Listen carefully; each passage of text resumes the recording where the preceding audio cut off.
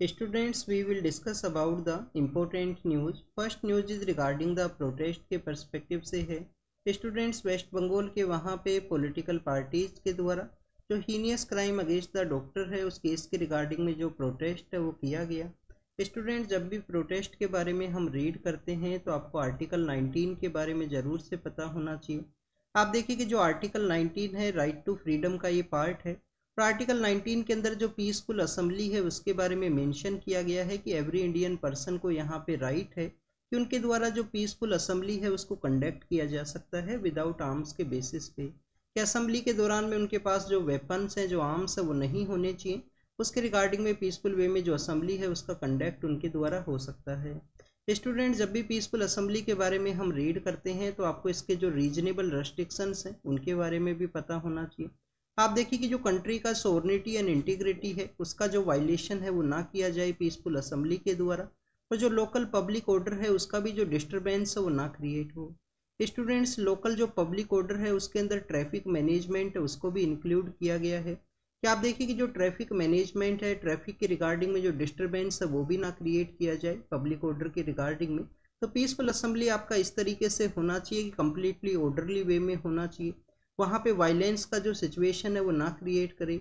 और ये आप देखिए कि किसी भी तरीके का जो वेपन्स है वो आपके द्वारा नहीं कैरी किया जाए। तो स्टूडेंट्स ये पीसफुल असम्बली के बारे में था जो आर्टिकल 19 के अंदर एवरी इंडियन सिटीजन को जो राइट है वो ग्रांट किया गया है। क्या स्टूडेंट जो इंडियन पर्सन नहीं है, जो फॉरनर है, उसको भी जो आर्टिकल 19 के अंदर जो फंडामेंटल राइट है वो इंडिया के अंदर दिया गया है। क्या फॉरनर पर्सनस के द्वारा भी जो प्रोटेस्ट है जो freedom of speech and expression है, उसको यहाँ पे एक्सरसाइज किया जा सकता है क्या? तो स्टूडेंट्स आपको पता होना चाहिए कि हमारे जो फंडामेंटल राइट्स हैं बेसिकली आपको पहले तो फंडामेंटल राइट्स के बारे में पता होना चाहिए कि article 12 to 35 article 12 to 35 Indian constitution के पार्ट थ्री के अंदर में जो फंडामेंटल राइट्स हैं, उनके बारे में मेंशन किया गया है। एवरी इंडियन पर्सन का जो ओवरऑल डेवलपमेंट है, उसके जो ओवरऑल डेवलपमेंट की रिगार्डिंग में जो राइट्स हैं, उनका काफ़ी ज़्यादा इंपॉर्टेंस है। तो आप देखिए कि जो फॉरनर पर्सन है, जो बाहर के जो लोग हैं, उनको कुछ कुछ फंडामेंटल राइट्स है वो इंडिया के अंदर आपको नहीं देखने के लिए मिलेंगे। जैसे कि आर्टिकल 15 है। आर्टिकल 15 उनको नहीं मिलेगा। आर्टिकल 15 के अंदर क्या राइट है कि डिस्क्रिमिनेशन के परस्पेक्टिव से religion race caste sex and place of birth के रिगार्डिंग में जो डिस्क्रिमिनेशन है, वो नहीं किया जा सकता है। आर्टिकल 15 के अलावा आप देखिए कि 16 है एम्प्लॉयमेंट के अंदर जो रिजर्वेशन का जो कॉन्सेप्ट है कि पब्लिक एम्प्लॉयमेंट के रिगार्डिंग में आपको यहाँ पे कुछ राइट्स हैं, वो दिए गए हैं, जिसके कुछ एक्सेप्शन भी हैं। तो 15 16 आर्टिकल 19 है। आर्टिकल 19 जो आपका freedom of speech and expression के रिगार्डिंग में है एसोसिएशन को फॉर्मेशन के रिगार्डिंग में कंप्लीट इंडिया के अंदर जो आपको मूवमेंट है, उसका भी जो राइट है, वो ग्रांट किया गया है आर्टिकल 19 के थ्रू में। और आप देखिए कि आर्टिकल 29 एंड 30 जो आपको बेसिकली माइनॉरिटी कम्युनिटीज़ के जो कल्चरल एंड एजुकेशन इंस्टीट्यूशंस के इस्टेब्लिशमेंट के रिगार्डिंग में है। तो ये जो फंडामेंटल राइट्स हैं, वो फॉरनर पर्सनस को नहीं अवेलेबल हैं, उनको ये जो राइट्स है, उसका एक्सरसाइज है, वो नहीं कर सकते हैं। तो स्टूडेंट्स ये तो प्रोटेस्ट के बारे में हुआ।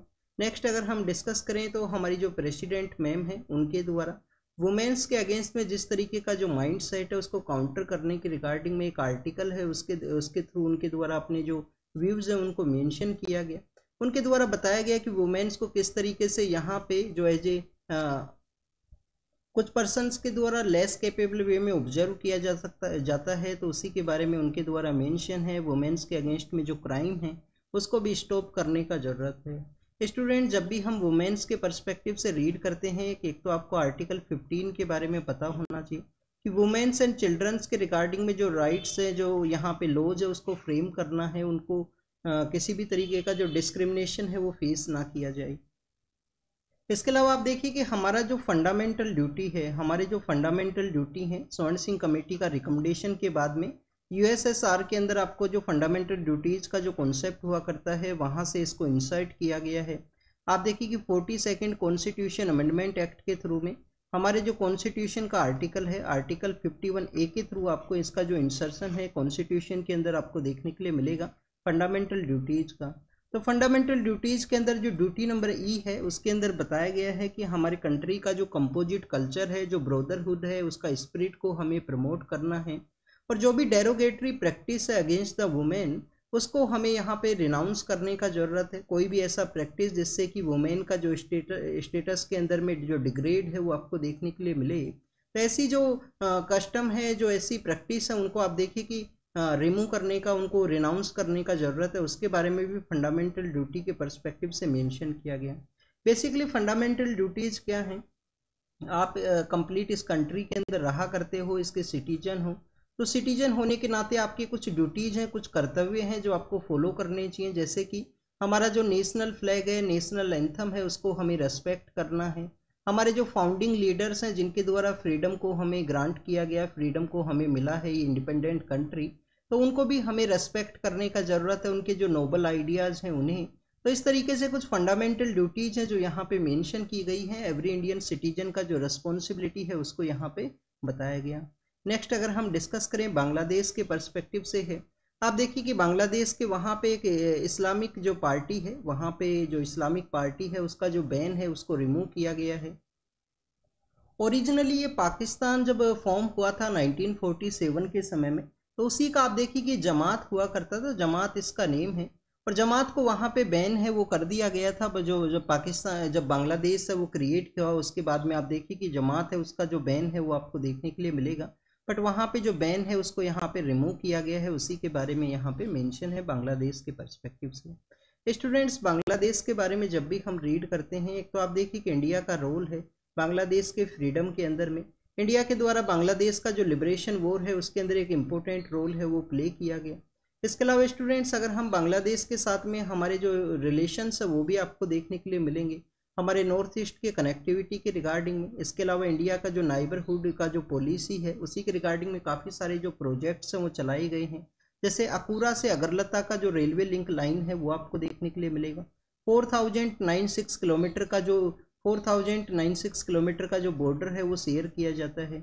इंडिया के कौन कौन से स्टेट्स हैं, जिनके साथ में बांग्लादेश के द्वारा अपना बॉर्डर शेयर किया जाता है, वेस्ट बंगाल आपको देखने के लिए मिलेगा, आसाम आपको देखने के लिए मिलेगा क्या मेघालय के द्वारा भी बॉर्डर शेयर किया जाता है? तो जो टोटल फाइव स्टेट्स हैं, वो आप ज़रूर से बताना, ये आपका होमवर्क है। आपको फाइव स्टेट ज़रूर से पता होने चाहिए। क्या मिजोरम के द्वारा अपना बॉर्डर शेयर किया जाएगा? मेघालय है, त्रिपुरा जो अभी न्यूज़ के अंदर में था, किस वजह से न्यूज़ के अंदर में था? कि वहाँ से एक्सेस वाटर है, उसको रिलीज़ किया गया गुमती रिवर के थ्रू में। बट इंडियन अथॉरिटीज़ के द्वारा उसको डिनाई किया गया है, जिससे कि आप देखिए कि हैवी रेनफॉल वहाँ पे रिसीव हुआ था। बांग्लादेश के ईस्टर्न पार्ट के अंदर में जो फ्लड का जो सिचुएशन है, वो क्रिएट हुआ है। अगर हम बात करें स्टूडेंट्स ये तो आप देखिए कि जो बॉर्डर स्टेट्स हैं, उनके बारे में डिस्कस किया। टोटल हमने एरिया के बारे में डिस्कस किया। Four thousand nine six kilometre है। हमारे काफ़ी सारे प्रोजेक्ट्स भी हैं, जैसे अकूरा से अगरलता का जो रेलवे लिंक लाइन है। हमारे यहाँ पे झारखंड के अंदर एक पावर प्लांट है, उसके थ्रू भी जो जो इलेक्ट्रिसिटी है, उसको सप्लाई किया जाता है। बांग्लादेश के वहाँ से जो पावर का जो सप्लाई होगा नेपाल के थ्रू में तो आप देखिए कि इंडिया का ही जो ट्रांसमिशन लाइन्स है, उनको यूज़ किया जाएगा। अकूरा से अगरलता का एक रेलवे लिंक लाइन भी आपको देखने के लिए मिलता है। अकूरा से अगरलता का जो रेलवे लिंक लाइन है, वो भी आपको देखने के लिए मिलेगा। और इंटीग्रेटेड जो चेक पोस्ट हैं, जो मिनिस्ट्री ऑफ़ होम अफेयर्स के अंडर में आपको देखने के लिए मिलते हैं। तो आप देखिए कि जो इंटीग्रेटेड चेक पोस्ट है, वो भी हमारे यहाँ पे सिचुएटेड है। इंडिया और बांग्लादेश का जो बॉर्डर एरिया है वन ऑफ़ द सक्सेसफुली जो आपको एक, आप देखिए कि कंप्रीहेंसिव डेवलपमेंट के रिगार्डिंग में देखने के लिए मिलेगा कि वहाँ पे बॉर्डर हार्ट है, उसको ऑर्गेनाइज किया जाता है। जो लोकल कम्युनिटीज़ हैं, उनके द्वारा इंडिया और बांग्लादेश के बॉर्डर एरिया के अंदर में अपना जो लोकल बिज़नेस है, उसको वो कैरी कर सकते हैं। बट प्रेजेंट समय में जो बांग्लादेश के वहाँ पे जिस तरीके का जो अनरेस्ट का सिचुएशन क्रिएट हुआ माइनॉरिटी कम्युनिटीज़ के अगेंस्ट में जो अटैक्स किए गए तो आप देखिए कि एंटी इंडिया जो सेंटीमेंट्स है वो आपको वहाँ पे देखने के लिए मिलेगा। रंगपुर के अंदर में इंडिया के द्वारा इंडिया और रसिया के द्वारा आप देखिए कि न्यूक्लियर पावर प्लांट है, उसको भी वहाँ पे सेटअप किया गया। अकुर्रा से अगरलता का जो रेलवे लाइन है, वो भी आपको पता होना चाहिए। तो आपके दो होमवर्क है यहाँ पे। एक होमवर्क है आपका कि आपको जो बॉर्डर स्टेट्स हैं, जो फाइव हमारे बॉर्डर स्टेट्स हैं, उनके बारे में बताना है। और हमारे कौन कौन से इंटीग्रेटेड चेक पोस्ट हैं?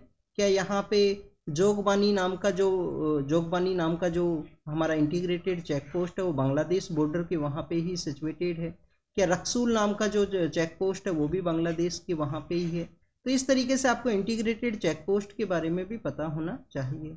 नेक्स्ट अगर हम बात करें स्टूडेंट्स आसाम के अंदर फ्लड के रिगार्डिंग में एक फ़ोटो है, उसको यहाँ पे शो किया गया है।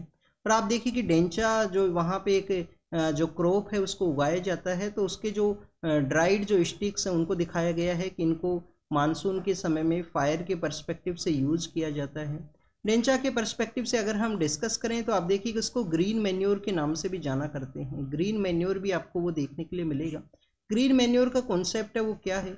आप देखिए कि काफ़ी बार हमारे यहाँ पे अगर आपने एग्रीकल्चर प्रैक्टिस के अंदर ऑब्ज़र्व किया हो, अगर आप रूरल एरिया से बिलोंग करते हो एग्रीकल्चर प्रैक्टिस के अंदर आपने ऑब्ज़र्व किया हो सपोज़ कीजिए रबी का क्रॉप है नॉर्दर्न पार्ट ऑफ़ इंडिया के परस्पेक्टिव से हम डिस्कस कर रहे हैं। तो रबी का क्रॉप है, एक साल आपको इस रबी के समय में इस इस एग्रीकल्चर फ़ील्ड के अंदर में आप देखिए कि वीट का जो वीट का जो क्रॉप है वो देखने के लिए मिलेगा कि गेहूँ को इसके अंदर उगाया जाता है। नेक्स्ट ईयर आप देखेंगे रबी के समय में यहाँ पे जो मस्टर्ड है मस्टर्ड मीन्स जो सरसों है, वो यहाँ पे उगाया जाएगा। या किसी दूसरे तरीके का जो आप देखिए कि जिसके अंदर बेसिकली जो राइजोम्स हैं, उसके थ्रू नाइट्रोजन फिक्सेशन का जो वर्क है, वो कैरी किया जाए सोइल के अंदर में सोइल का जो प्रोडक्टिविटी है, उसको ये बूस्ट करे। हो सकता है कि हमारे जो फार्मर जो सेक्टर है फार्मर जो कम्युनिटी है, उनको एग्जैक्ट वर्ड्स हैं, वो ना पता हो। बट आप देखिए, उनका जो प्रैक्टिस है, उसके अंदर ये ट्रेडिशन आपको देखने के लिए मिलता है, अगर आप ऑब्ज़र्व करते हो, कि हर एक साल, हर एक समय, हर एक सीज़न की रिगार्डिंग में जो सेम क्रॉप्स है, उसको नहीं उगाया जाता है एग्रीकल्चर फ़ील्ड के अंदर में। जिससे कि वहाँ पे जो नाइट्रोजन फिक्सेशन है उसको यूटिलाइज किया जा सके।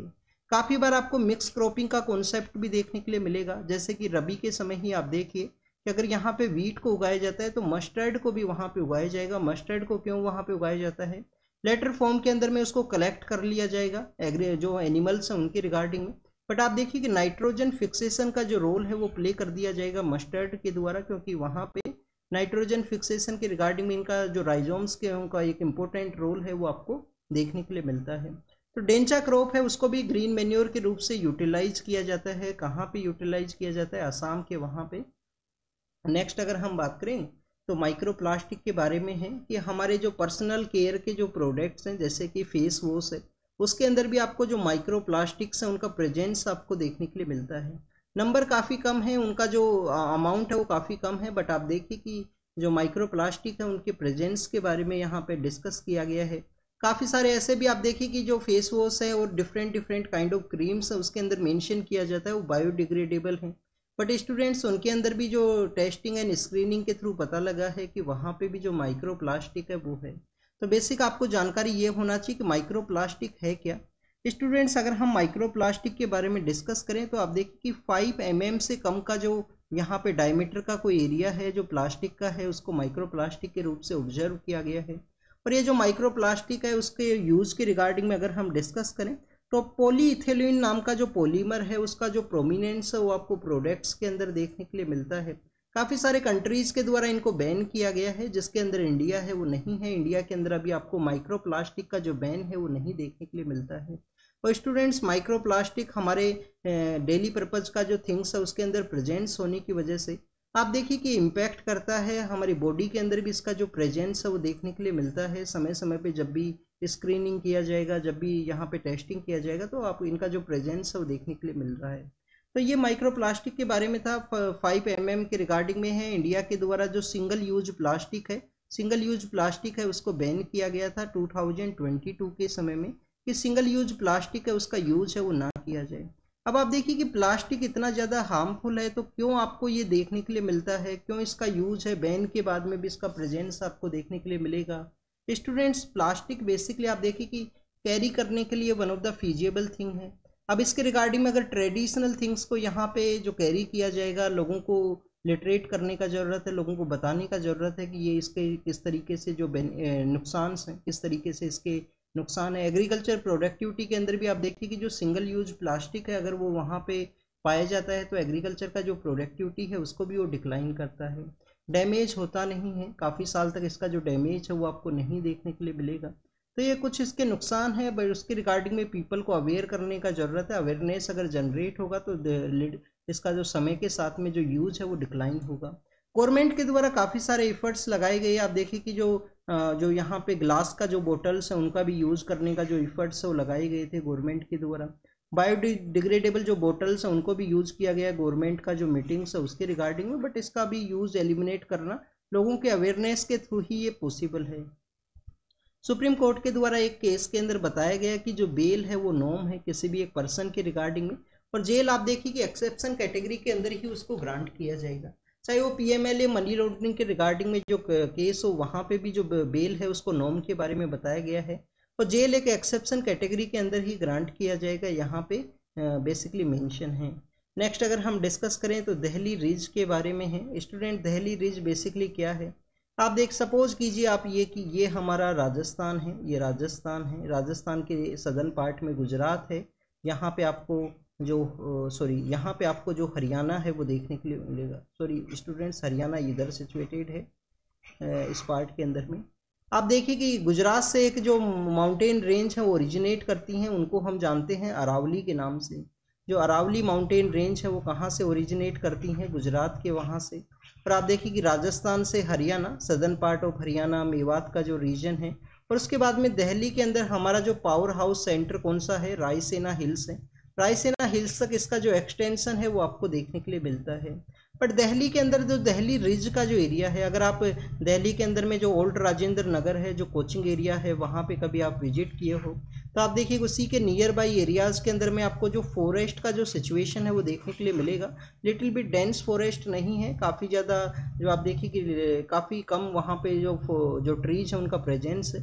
बट आप देखिए कि उसको दहली रिज के अंदर में एज ए प्रोटेक्टेड एरिया के रूप से प्रिजर्व किया गया है तो वहाँ पे कुछ ट्रीज है, उनको काटा गया था ट्रीज है उनको काट दिया गया था। तो उसी के रिगार्डिंग में जो केस है, वो यहाँ पे सुप्रीम कोर्ट के अंदर पहुँचा है 1994 के समय में। अगर किसी भी समय दहली रिज के एरिया से जो पेड़ है, उसको अगर कट करना है तो ट्री ऑफिसर हैं।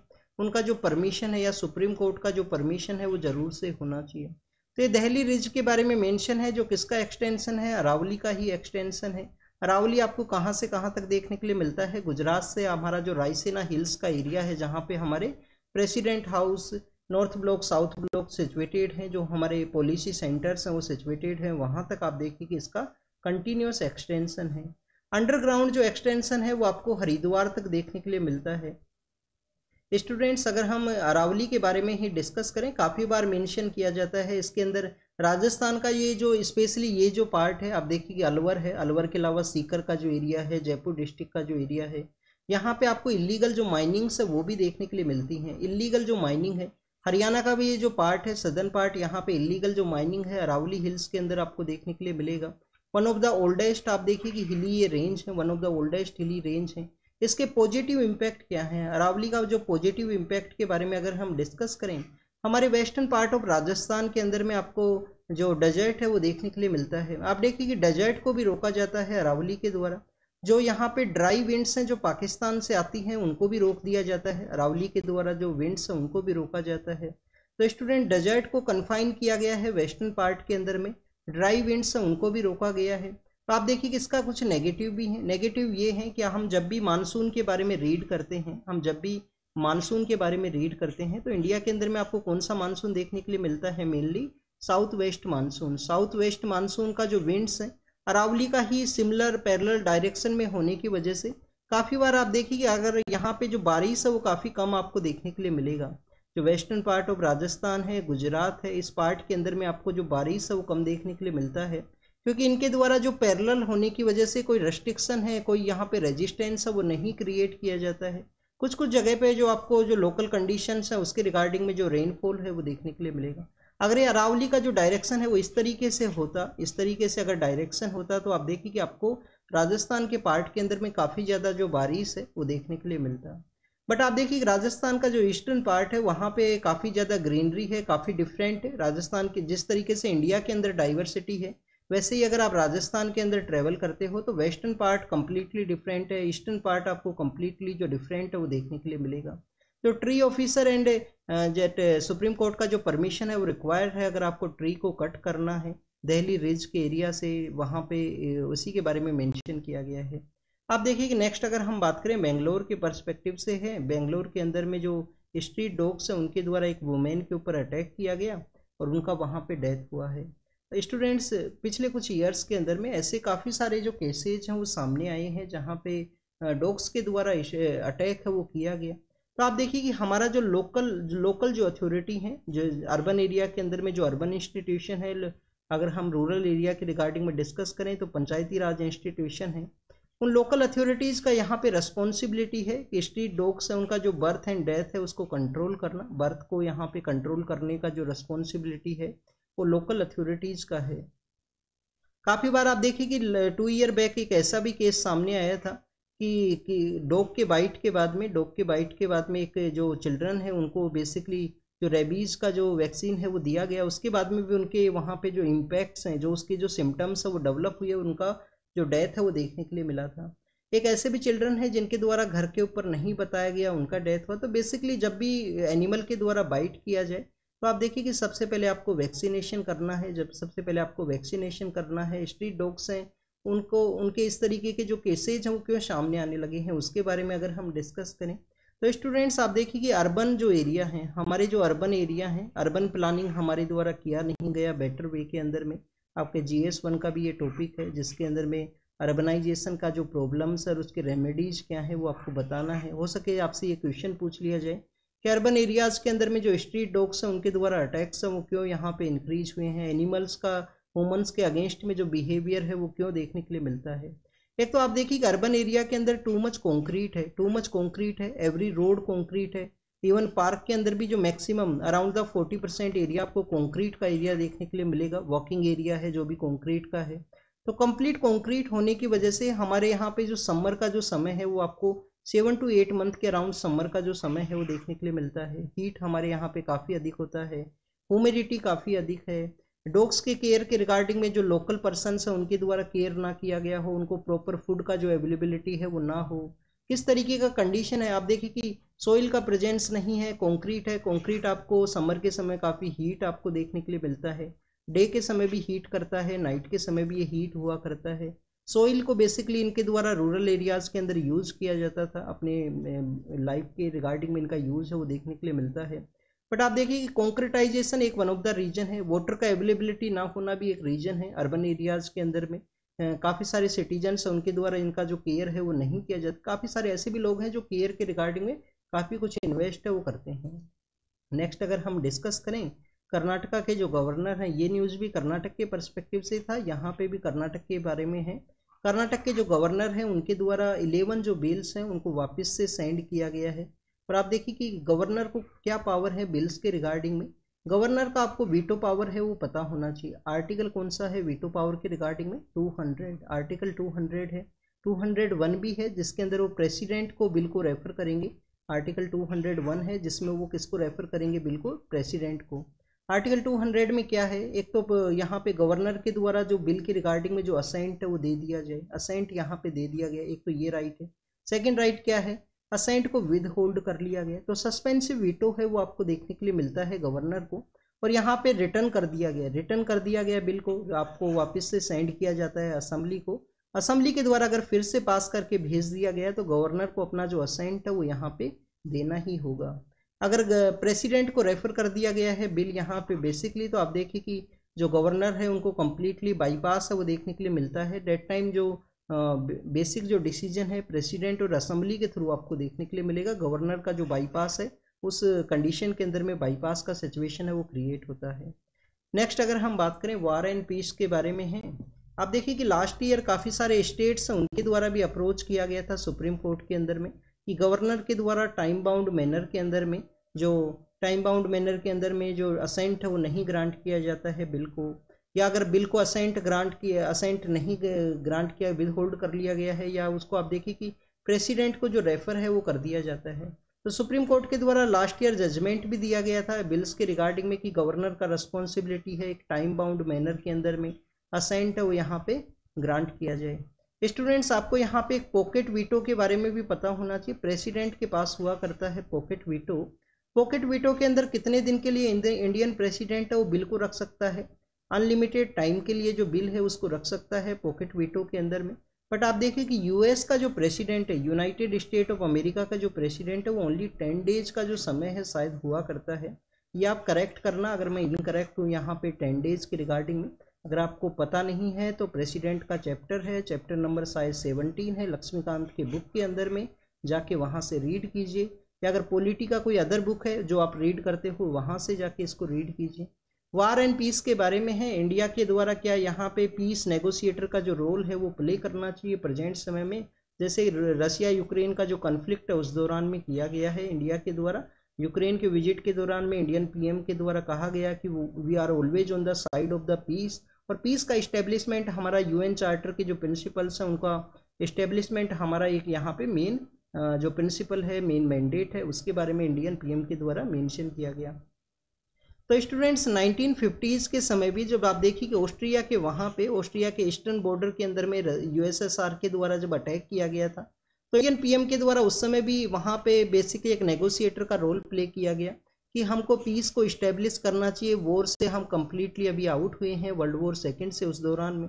इसके अलावा आप देखिए कि कोरिया का जो पेनसुला है, उसके बारे में कोरिया के रिगार्डिंग में जो यूएन का जो कमीशन गया था, वहाँ पे पीस के इस्टेब्लिशमेंट के रिगार्डिंग में तो इंडियन पर्सन के द्वारा ही हेड किया गया था। North Korea and southern Korea का जो कन्फ्लिक्ट है, उसको भी इंडिया के द्वारा एज ए नेगोशिएटर का जो रोल है, वो आपको देखने के लिए मिलेगा। तो इंडिया का आप देखिए कि एंशेंट समय से ही काफ़ी रोल है। एंशेंट समय से अगर हम बात करें तो इंडिपेंडेंस के समय से ही। उस एंशेंट समय के रिगार्डिंग में अगर हम रीड करें तो इंडिया ऑलवेज पीस का जो नेगोशिए पीस का जो क्रिएचर या पीस का जो प्रमोटर है, वो आपको देखने के लिए मिलेगा। इस, इसके अलावा स्टूडेंट्स अगर हम बात करें तो आप देखिए कि अगर रसिया यूक्रेन कन्फ्लिक्ट को इंडिया के द्वारा रिजोल्व किया जाता है तो आप देखिए और भी काफ़ी सारे ऐसे एरिया हैं इस कन्फ्लिक्ट के अंदर में। जैसे कि आप देखिए कि ब्लैक सी का जो ग्रीन ग्रेन का जो ट्रेटी है, उसको भी नेगोशिएट करना होगा। इंटरनेशनल एटॉमिक एनर्जी एजेंसी है, उसके जो इफर्ट्स हैं कि वहाँ पे जो न्यूक्लियर सेफ्टी के रिगार्डिंग में वहाँ पे एक न्यूक्लियर पावर प्लांट के अंदर जो आप देखिए कि अटैक हुआ था तो उन न्यूक्लियर जो सेफ्टी है, उसको भी इंश्योर करना इंडिया का एक रिस्पॉन्सिबिलिटी है। तो उन सब एरियाज़ के रिगार्डिंग में भी जो कंसर्न्स है, उनको रेज किया गया है। इंडिया को अपना जो प्रॉब्लम्स है, उसके ऊपर ध्यान देना चाहिए। प्रेजेंट समय में ऐसा कुछ भी यहाँ पे बताया गया है।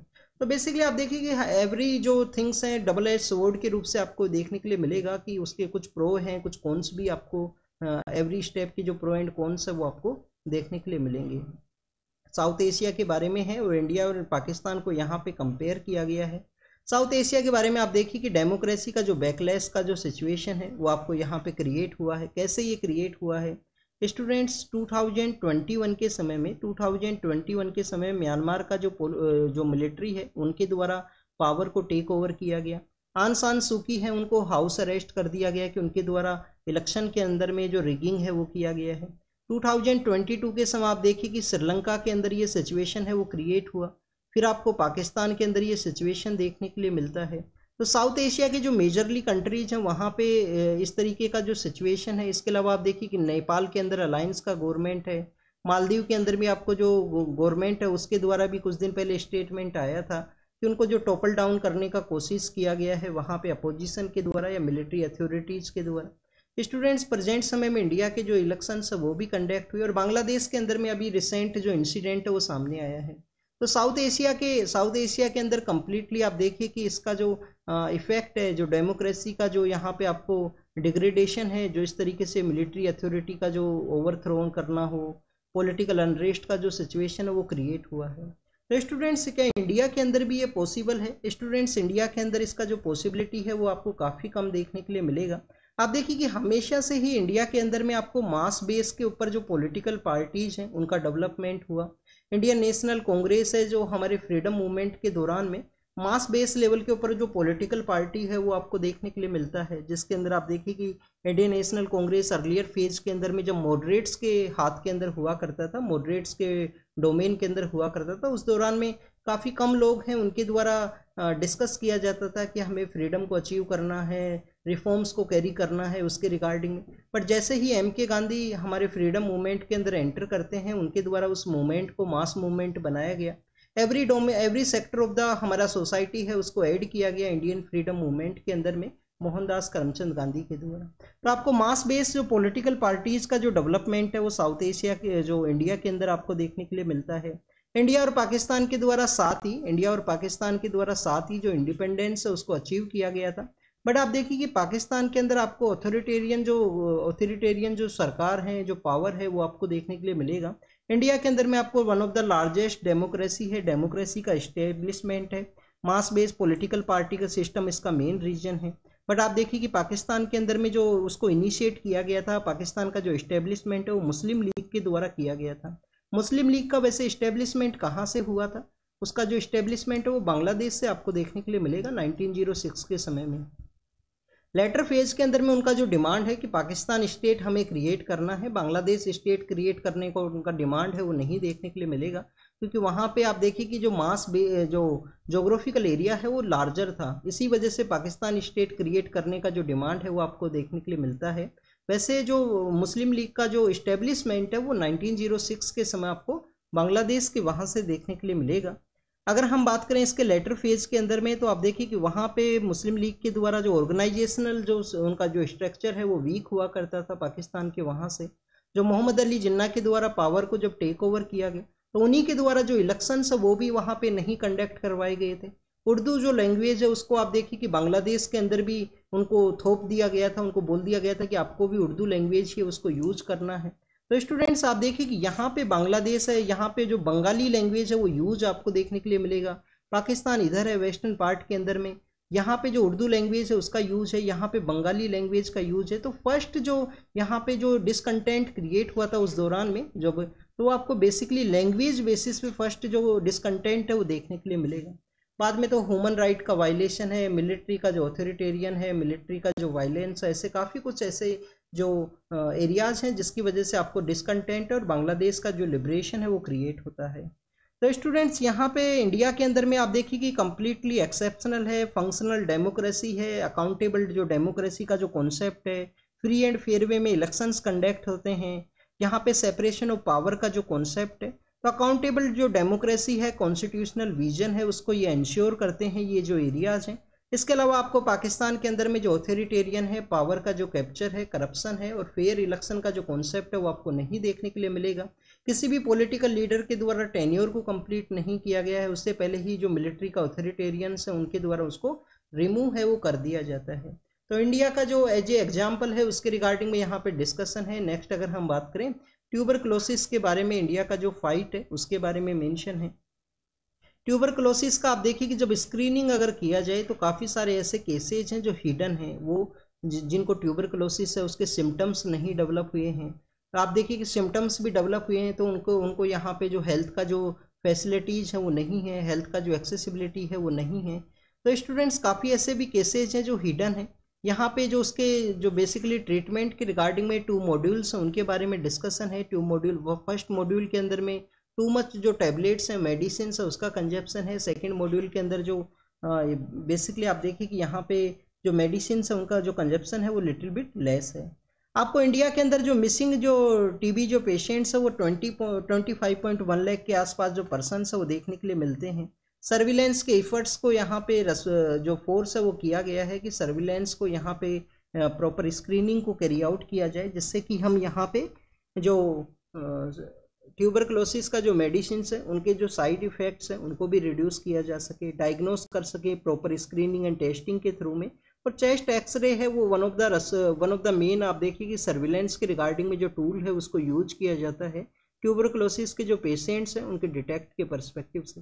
नेक्स्ट अगर हम बात करें पोलियो के बारे में है, आप देखिए कि पोलियो के रिगार्डिंग में जो डाटा है, उसके अंदर ये भी बताया गया है कि वैक्सीनेशन है वैक्सीनेशन का जो इम्प्लीमेंटेशन है, वो यहाँ पे रिड्यूस हुआ है। हो सकता है कि कोविड नाइन्टीन का वजह से जो डिस्टरबेंस क्रिएट हुआ कोविड नाइन्टीन की वजह से जो डिस्टरबेंस क्रिएट हुआ। स्टूडेंट्स कोविड नाइन्टीन के समय और भी हेल्थ के तो आप देखिए कि काफ़ी सारे इम्पैक्ट आपको देखने के लिए मिलते हैं। तो कोविड नाइन्टीन के दौरान में जो मेन जो कंसंट्रेशन है वो आपको कोविड के जो केसेज हैं कोविड के जो इम्पैक्ट्स हैं, उन्हीं के ऊपर आपको देखने के लिए मिलेगा। तो आप देखिए कि वैक्सीनेशन के यहाँ पे जो प्रॉपर इम्प्लीमेंटेशन है ग्रास रूट लेवल के ऊपर उसके जो इम्प्लीमेंटेशन है, उसके रिड्यूस के बारे में बताया गया है।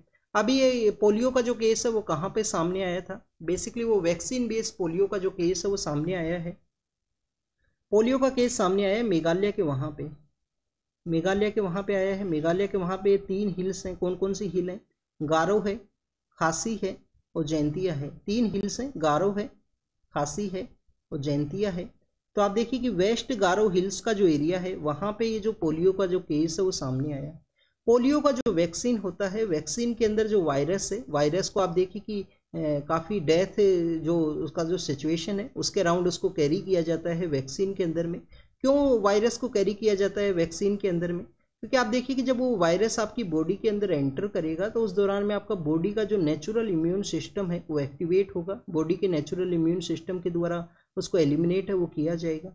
तो उसी को डेवलप करने के रिगार्डिंग में आपको वैक्सीन के अंदर में जो वायरस है, वो उसका जो वीक फो वीक फॉर्म के अंदर में वायरस हुआ करता है। आप देखिए कम्प्लीटली स्ट्रॉन्ग फॉर्म के अंदर वायरस नहीं होगा।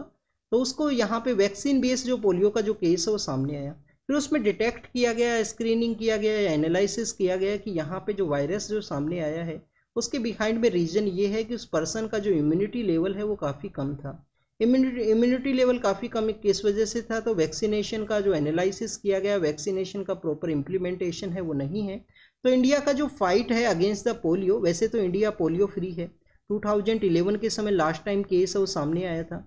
डब्ल्यूएचओ के द्वारा 2014 के समय इंडिया को जो पोलियो फ्री है, वो डिक्लेयर कर दिया गया था वर्ल्ड हेल्थ ऑर्गेनाइजेशन के द्वारा। बट आप देखिए कि वैक्सीन बेस जो वैक्सीन बेस जो पोलियो का केस सामने आया है, वैक्सीनेशन के प्रोसेस के बारे में डिस्कस किया गया है, जिससे कि इम्यूनिटी को बूस्ट किया जा सके। और उसके रिगार्डिंग में आपको हेपेटाइटिस है ट्यूबरक्लोसिस है, और भी काफ़ी सारे थिंग्स है जिनके रिगार्डिंग में जो वैक्सीन है वो दी जाती है। मिशन इंद्रधनुष है, उसके रिगार्डिंग में आप देखिए कि सेवन हमारे जो डिज़ीज़ हैं, उसके रिगार्डिंग में चिल्ड्रंस को जो वैक्सीन है वो आपको देखने के लिए मिलेगा। नेक्स्ट अगर हम डिस्कस करें, हरियाणा के अंदर इलेक्शन है। आप देखिए कि यहाँ पे इंडिया का एक कार्बन के रिगार्डिंग में इंडिया का जो कार्बन स्ट्रक्चर है, उसके रिगार्डिंग में एक एडिटोरियल मेंशन था। परफॉर्मेंस अचीव एंड ट्रेड जो परफॉर्मेंस अचीव एंड ट्रेड का एक कॉन्सेप्ट है कार्बन मार्केट के रिगार्डिंग में। इंडिया को कार्बन न्यूट्रलिटी को कब अचीव करना है? 2070 के अंदर में। वर्ल्ड को कब अचीव करना है? 2050 के अंदर में। इंडिया का जो टारगेट है 2070 के अंदर हम कार्बन न्यूट्रल कंट्री हैं, वो होनी चाहिए। तो आप देखिए, उसके अंदर काफ़ी कुछ मेंशन था, बस आपको इतना जो पता है वो होना चाहिए। नेक्स्ट अगर हम बात करें हरियाणा के रिगार्डिंग में, आप देखिए एक पॉलिटिकल पार्टी है, उनके कैंपेन के अंदर जो चिल्ड्रंस हैं, उनका, उनके द्वारा कुछ स्लोगनिंग है, वो किया गया। इलेक्शन कमीशन के द्वारा जो नोटिस है, वो इशू किया गया है। अब बेसिकली आपको यहाँ पे कुछ जानकारी होना चाहिए, जानकारी आपको ये होना चाहिए क्या चिल्ड्रंस को किसी भी सेक्टर के अंदर यूज़ नहीं किया जाता है? फ़र्स्ट ऑफ़ ऑल तो आपको यहाँ पे एक जानकारी होना चाहिए कि इंडिया के अंदर जो चिल्ड्रन का जो डेफिनेशन है वो नहीं है। एग्जैक्ट डेफिनेशन नहीं है। अगर हम protection of children from sexual offence के बारे में डिस्कस करें तो 18 ईयर से कम का जो जो पर्सन है, उसको चिल्ड्रन माना गया है। जोनाइल जस्टिस एक्ट के रिगार्डिंग में डिस्कस करें तो आप देखिए कि 16 से कम एज का है, उसको चिल्ड्रन माना गया है। 16 टू 18 का जो ब्रैकेट है, उसके अंदर में उसको एडल्ट के रूप से ट्रीट किया जाएगा। अगर हम बात करें हमारे जो एजुकेशन पॉलिसी जो उनके रिगार्डिंग में तो आप देखिए आर्टिकल जो ट्वेंटी वन ए है, वहाँ पे सिक्स टू फोर्टीन का जो एज है, वो आपको देखने के लिए मिलता है।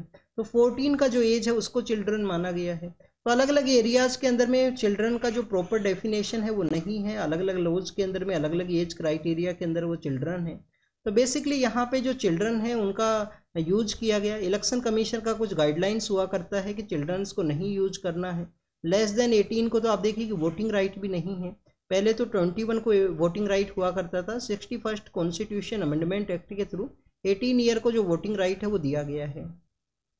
नेक्स्ट अगर हम डिस्कस करें स्टूडेंट्स फोर्टीन से जो कम के जो बच्चे हैं उनको बेसिकली हेजार्डियस इंडस्ट्रीज़ के अंदर तो अलाउ नहीं किया गया है। हेजार्डियस इंडस्ट्रीज़ के अंदर अलाउ नहीं किया गया है।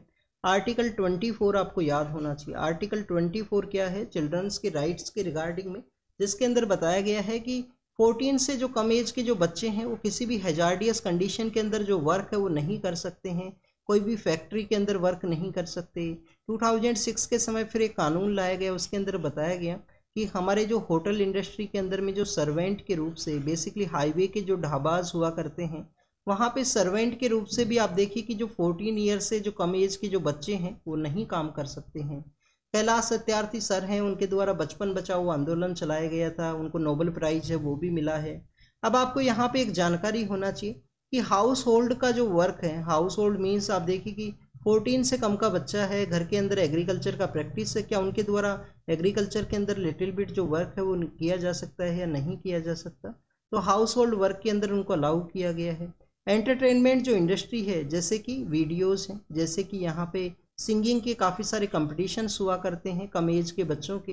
तो डांस इंडिया डांस के आप देखिए कि डांस डांस इंडिया डांस का एक जो एक टीवी टीवी प्रोग्राम है वो हुआ करता था।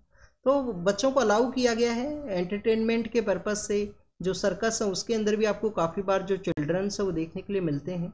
हेजार्डियस इंडस्ट्रीज़ के अंदर अलाउ नहीं है फैमिली बिज़नेस के अंदर उनको अलाउ किया गया है। सपोज़ कीजिए किसी पर्सन के वहाँ पे सोप है तो सोप के ऊपर भी वो बैठ सकते हैं। ऐसा नहीं है कि वहाँ पे उनके बेसिकली आर्टिकल 24 के वायलेशन के रिगार्डिंग में जेल के अंदर उनको सेंड कर दिया जाएगा। हेजार्डियस इंडस्ट्री किसी अदर पर्सन के अंडर में जो वर्क है वो नहीं कर सकते, जो फैमिली से बिलोंग नहीं करता है। नेक्स्ट अगर हम डिस्कस करें तो प्रधानमंत्री जनधन योजना के बारे में है। टेन ईयर्स हैं, वो कंप्लीट हुए हैं। पीएम सर के द्वारा मेंशन किया गया डिग्निटी एंड एम्पावरमेंट को इस प्रधानमंत्री जनधन योजना के द्वारा प्रमोट किया गया है। किस तरीके से प्रमोट किया गया स्टूडेंट्स आप देखिए कि वुमेन का एम्पावरमेंट हुआ है। वुमेन का एम्पावरमेंट किस तरीके से? एक तो आप देखिए कि बैंकिंग सेक्टर के अंदर हमारे जो कंट्री के अंदर वुमेन्स वो नहीं हुआ करते थे। बैंकिंग सेक्टर के अंदर नहीं हुआ करते थे, उनके जो बैंक अकाउंट्स है, वो ओपन हुए हैं। बैंकिंग सेक्टर के अंदर जो मनी मनी का जो सर्कुलेशन है, वो भी यहाँ पे इंक्रीज हुआ है इन बैंक अकाउंट्स के थ्रू में। आप देखिए कि मिनिमम बैलेंस तो आपको कैरी करना होगा बैंक के अंदर में, जो आपका अकाउंट है उसके अंदर में। तो बैंक का जो मनी का जो सर्कुलेशन है, वो भी इंक्रीज हुआ। वुमेन को जो फाइनेंशियल डोमेन के अंदर ऐड किया गया, अगर उनका जो डीबीटी है डायरेक्ट बेनिफिट ट्रांसफ़र है, वो इसी के थ्रू आप देखिए कि रिसीव होगा। इसी के थ्रू रिसीव होगा तो प्रधानमंत्री जनधन योजना हमारे फाइनेंशियल इंक्लूजन वुमेन्स को फाइनेंशियल डोमेन के अंदर ऐड करने के रिगार्डिंग 2014 से पहले आप देखिए रूरल एरिया के अंदर स्पेशली आपको देखने के लिए मिलेगा कि काफ़ी कम ऐसी वुमेन्स है जिनके बैंक अकाउंट हुआ करते थे। काफ़ी कम ऐसी वुमेन्स है जिनके बैंक अकाउंट हुआ करते थे। 2014 के बाद में ये जो सिनारियो है, वो चेंज हुआ है। चाहे वो डायरेक्ट बेनिफिट ट्रांसफ़र के रिगार्डिंग में हो, या सोशल सिक्योरिटी के नाम पे जो गवर्नमेंट के द्वारा, जो स्टेट गवर्नमेंट है सेंट्रल गवर्नमेंट है, उनके द्वारा सोशल सिक्योरिटी के नेम पे जो पेंशन है, वो दी जाती हैं। उसकी रिगार्डिंग उनके जो बैंक अकाउंट्स है, वो ओपन हुए हैं। तो आप देखिए कि फाइनेंशियल डोमेन के अंदर में वुमेन्स का जो एम्पावरमेंट है, जो डिग्निटी है, उसको इम्प्रूव करने के अंदर में इस जो योजना है, उसका काफ़ी बड़ा इम्पोर्टेंट रोल है। नेक्स्ट अगर हम बात करें एक इफ़ेक्टिव जो पुलिसिंग है, उसके बारे में डिस्कस किया गया है। आप देखिए कि पुलिस का एक विंग है, पुलिस का एक विंग है जो कि आपको bureau police research and development के रिगार्डिंग में एक विंग है, वो देखने के लिए मिलता है। आप देखिए कि एनसीआरबी के अंडर ये वर्क किया करते हैं। एन के अंडर ये वर्क करते हैं नेशनल क्राइम रिकॉर्ड ब्यूरो के अंदर में। पुलिस जो हमारे क्राइम्स के जो डाटाज हैं, उसका एनालिसिस होता है यहाँ पे। कि किस तरीके से जो पुलिसिंग है उसको एज ए इफ़ेक्टिव टूल के रूप से यूज़ किया जाए जिससे कि इकोनॉमिक ग्रोथ है वो देखने के लिए मिले। तो आप देखिए कि लॉ एंड ऑर्डर अगर यहाँ पे मेंटेन है किसी भी स्टेट एरिया के अंदर में तो वहाँ पे आपको ऑलरेडी जो प्रोग्रेस है, जो डेवलपमेंट है वो आपको देखने के लिए मिलेगा। मीन्स पीसफुल जो कंडीशन है वो होना चाहिए लोकल जो क्राइम्स है उनको कंट्रोल किया जाए पुलिस के द्वारा। तो इफ़ेक्टिव टूल है पुलिसिंग उसके बारे में डिस्कशन है। यूनियन गवर्नमेंट के द्वारा आप देखिए कि जो लेबर यूनियंस हैं, उनके उनके साथ में जो डिस्कशन किया गया लेबर कोड के इम्प्लीमेंटेशन के बारे में All India Trade Union Congress के बारे में आपको पता होना चाहिए कब इसका इस्टेब्लिशमेंट हुआ, किसके द्वारा इसको इस्टेब्लिश किया गया। नाइनटीन ट्वेंटी के समय हुआ, लाला लाजपत राय हैं, दीवान चमन लाल हैं, उनका यहाँ पे क्या रोल है? एग्रीकल्चर इंफ्रास्ट्रक्चर फंड के बारे में अगर हम बात करें तो आप देखिए कि एग्रीकल्चर सेक्टर के अंदर इंफ्रास्ट्रक्चर को बूस्ट करना है इस फंड के थ्रू में। और यहाँ पे जो एफपीओ है फार्मर प्रोड्यूस ऑर्गेनाइजेशन है, दो पर्सन के द्वारा भी तो टेन पर्सन को भी ऐड करते हुए एक फार्मर प्रोड्यूस ऑर्गेनाइजेशन है, उसको डेवलप किया जा सकता है। अब फार्मर प्रोड्यूस क्या है? फार्मर प्रोड्यूस ऑर्गेनाइजेशन अगर आपके द्वारा फिशिंग का जो एक्टिविटी है, आपके द्वारा मछली पालन किया जाता है तो अभी आप टेन लोगों का एक ग्रुप बना के फार्मर प्रोड्यूस ऑर्गेनाइजेशन को क्रिएट कर सकते हो। तो आप देखिए कि फार्मर प्रोड्यूस ऑर्गेनाइजेशन को भी एग्रीकल्चर इंफ्रास्ट्रक्चर फंड के अंदर ऐड किया गया है, जिससे कि इनको भी जो फंड है वो अलोकेट किया जा सके। नेक्स्ट अगर हम बात करें चांदीपुरा वायरस के बारे में है। गुजरात के वहाँ पे इसके जो केसेज हैं वो सामने आए थे। चांदीपुरा वायरस क्या है? चांदीपुरा वायरस आपको जो फ्लाइज हैं, जो आप देखिए कि घर के अंदर जो मक्खियाँ होती हैं, उसके थ्रू इस वायरस को स्प्रेड किया जाता है। चिल्ड्रंस के अंदर इसका जो इम्पैक्ट है, जो फीवर का जो कंडीशन है, वो ये डेवलप करता है। WHO के द्वारा कहा गया है कि आने वाले वीक्स के अंदर में इसका जो ट्रांसमिशन है वो इंक्रीज हो सकता है, उसकी पॉसिबिलिटीज़ के बारे में बताया गया तो आप देखिए कि क्यों इंक्रीज हो सकता है? अभी मानसून का समय है। मानसून के जाने के बाद में आप देखिए मानसून का जब विड्रोल होगा तो उसके बाद में जो ड्राई कंडीशन है वो डेवलप होगा। तो हो सकता है कि उस दौरान में जो मॉस्किटोज़ हैं एडिस जो मॉस्किटोज़ हैं ए के नाम से या आप देखिए कि जो सैंड फ्लाइज हैं, उनके द्वारा बेसिकली इसका जो ट्रांसमिशन है, वो किया जाए। तो एक वार्निंग है, एक कंसर्न है, उसको यहाँ पे रेज किया गया। चिल्ड्रंस को ये इम्पैक्ट करता है। गुजरात, राजस्थान के वहाँ पे इसके केसेस सामने आए थे। निकोबार आइलैंड का जो यहाँ पे डेवलपमेंट प्रोजेक्ट है, उसके रिगार्डिंग में मिनिस्ट्री ऑफ़ इन्वायरमेंट के द्वारा एक लेटर के अंदर बताया गया था कि स्ट्रेटजिक इम्पोर्टेंट ये प्रोजेक्ट है। इंडिया का स्ट्रेटजिक जो सिक्योरिटी के परस्पेक्टिव से वहाँ पे डेवलप किया गया है। तो अब अब आपके लिए यहाँ पे एक होमवर्क है। होमवर्क आपके लिए ये है कि आप देखिए कि हमने लास्ट टाइम भी डिस्कस किया था। एक तो ये जो निकोबार का जो एरिया है टर्टल के परस्पेक्टिव से टर्टल का जो कंजर्वेशन है लेदर बैक जो टर्टल्स है, उनका प्रेजेंस वहाँ पे देखने के लिए मिलता है। तो टर्टल टर्टल के कंजर्वेशन के रिगार्डिंग में काफ़ी ज़्यादा इम्पोर्टेंट है। निकोबार का जो जो वाइल्ड लाइफ एरियाज़ हैं, जो वहाँ पे वाइल्ड लाइफ सेंचुरीज हैं, उनके बारे में आपको पता होना चाहिए। कैंप बेल नाम का एक सेंचुरी है वहाँ पे। कैंप बेल नाम का एक सेंचुरी है वो आपको पता होना चाहिए तो उन दो, दोनों सेंचुरीज के बारे में आप ज़रूर से रीड करना नेक्स्ट अगर हम बात करें स्टूडेंट्स यहाँ पे जो डिस्कस किया गया है वो थाईलैंड के परस्पेक्टिव से है। थाईलैंड के वहाँ पे जुडिशियल कूप का जो कॉन्सेप्ट है वो डिस्कस किया गया अपोजिशन के लीडर्स के द्वारा एग्ज़ाम के पर्पज़ से नहीं इम्पोर्टेंट है।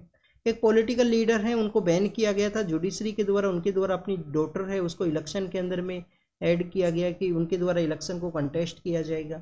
नेक्स्ट अगर हम डिस्कस करें स्टूडेंट्स यहाँ पे स्वीडन के परस्पेक्टिव से है। स्वीडन के अंदर में जो हेट क्राइम्स है, उसको मेंशन किया गया रसिया यूक्रेन क्राइसिस के बारे में है। और यहाँ पे जो डिस्कस किया गया है ईरान के बारे में। ईरान के बारे में जब भी डिस्कशन होता है तो आपको 2023 का जो नोबल पीस प्राइज़ है, उसके बारे में पता होना चाहिए। 2023 के समय ईरान के वहाँ पे वुमेंस के द्वारा जो प्रोटेस्ट है, वो भी किया गया था। महसा यमीनी नाम का एक पर्सन है, उनका वहाँ पे डेथ भी हुआ था। और आप देखिए कि नरगिस मोहम्मदी नाम से जो जो वुमेन है, जो जेल के अंदर बंद है प्रेजेंट समय में 2023 का जो नोबल पीस प्राइज़ है, उन्हें उनके वुमेन राइट के जो इफ़र्ट्स हैं, उनकी रिगार्डिंग में दिया गया।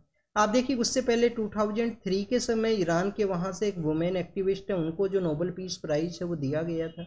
इसके अलावा स्टूडेंट्स बांग्लादेश के अंदर जमात का जो बैन है, उसको विड्रोवल किया गया है। इसराइल के द्वारा वेस्ट बैंक के अंदर अटैक किया गया। तो continuous attack and counter attack का जो न्यूज़ है वो यहाँ से है। इसराइल के वहाँ से आपको देखने के लिए मिलेगा।